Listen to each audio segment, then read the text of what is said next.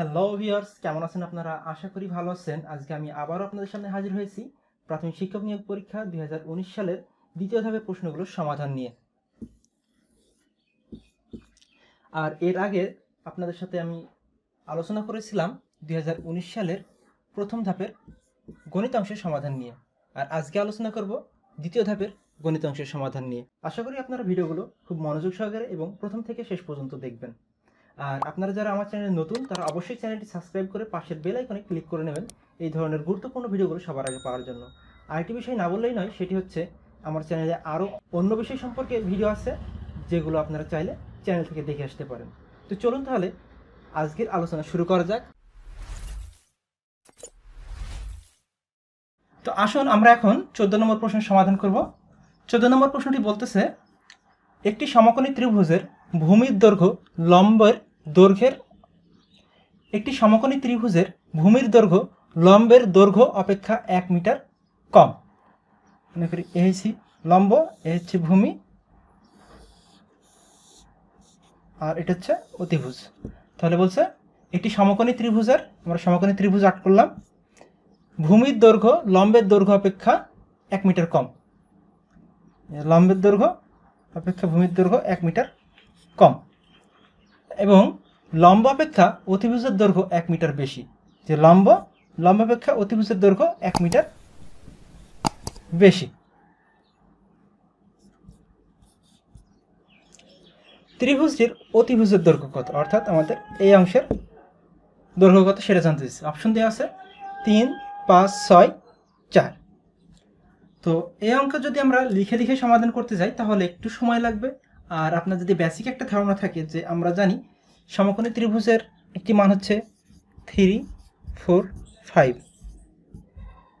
লক্ষ্য করুন, এই ত্রিভুজের এই হচ্ছে লম্বর ভূমি আর এটা হচ্ছে অতিভুজ। এখন, লম্ব যদি ফোর হয় এবং ভূমি যদি থ্রি হয় আর অতিভুজ যদি ফাইভ হয়, তাহলে এই মানের সাথে লক্ষ্য করুন যে লম্ব অপেক্ষা ভূমি এক কম যে এক কম চার অপেক্ষা তিন এক কম, এবং লম্ব অপেক্ষা অতিভুজ এক বেশি চার পাঁচ, অর্থাৎ চারের এক বেশি হচ্ছে পাঁচ। অতএব আমরা এখান থেকে বলতে পারি যে এই ত্রিভুজের, সমকোণ ত্রিভুজের অতিভুজের দৈর্ঘ্য হচ্ছে পাঁচ। সূত্র যেভাবে আছে, সেইভাবে যদি আমরা সমাধান করি, আমরা দেখলাম যে এটা এক্স ধরলাম, আর লম্ব এক্স হলে ভূমি এক্স মাইনাস ওয়ান এবং অতিভুজ হচ্ছে এক্স প্লাস ওয়ান প্রশ্ন অনুসারে আমরা এটা পেলাম। এখন আমরা জানি পিথাগোরাসের উপপাদ্য অনুসারে যে ভূমি স্কোয়ার সমান লম্ব স্কোয়ার, ভূমি স্কোয়ার প্লাস লম্ব স্কোয়ার সমান হচ্ছে অতিভুজ স্কোয়ার। এখন ভূমি সমান আমরা কত জানি? ভূমি সমান হচ্ছে এক্স মাইনাস ওয়ান তার উপর স্কোয়ার দিলাম।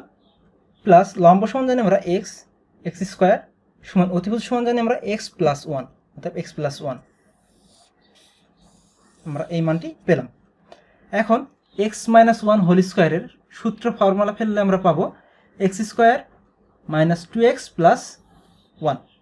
এবং এই হচ্ছে এক্স স্কোয়ার থেকে এক্স স্কোয়ার তাই প্লাস এক্স স্কোয়ার। আর এখানে X plus one whole square থেকে সূত্র করলে আমরা পাবো X square plus two X plus one. এখন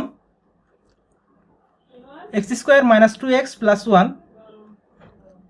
plus X square, আর এই মানটি যখন আমরা সমানের এদিকে নিয়ে আসব, তখন হবে সবগুলো মাইনাস হয়ে যাবে X square minus two X minus one সমান জিরো এখন আমরা যদি প্লাস এক্স আর মাইনাস এক্স কাটাকাটি করতে পারি প্লাস ওয়ান মাইনাস ওয়ান কাটাকাটি করতে পারি, তাহলে থাকল আমাদের এক্স স্কোয়ার আর minus two X minus two X অতএব X square minus four X এখান থেকে আমরা এক্স কমন নিতে পারি।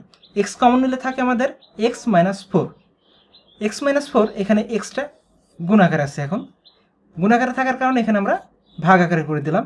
এই পাশে নিয়ে এসে তাহলে এক্স মাইনাস ফোর সমান জিরো বাই এক্স এখন এটার ফল আসলো জিরো তাহলে এক্স মাইনাস ফোর সমান জিরো অতএব এক্স সমান লিখতে পারি আমরা, এখানে যেহেতু মাইনাস আছে, অতএব প্লাস ফোর অতএব আমরা এক্সের মান পেলাম ফোর যেহেতু লম্ব হচ্ছে আমাদের, লম্বের মান চার, এবং লম্ব থেকে ভূমি হচ্ছে এক কম, অতএব থ্রি এবং লম্ব অপেক্ষা এক বেশি হচ্ছে অতিভুজ, অতএব ফাইভ তাহলে আমরা এখানেও দেখলাম যে উত্তর আসছে ফাইভ অতএব উত্তর হচ্ছে আমাদের পাঁচ।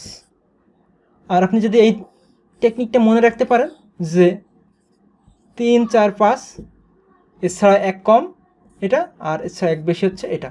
অতএব উত্তর হচ্ছে আমাদের পাঁচ। অতিভুজ আমাদের পাঁচ। আশা করি বিষয়টি বুঝতে পেরেছেন। আর যদি আপনি না বুঝতে পারেন, তাহলে ভিডিওটি আরেকবার প্রথম থেকে দেখুন। ইনশাআল্লাহ আপনি বুঝে যাবেন।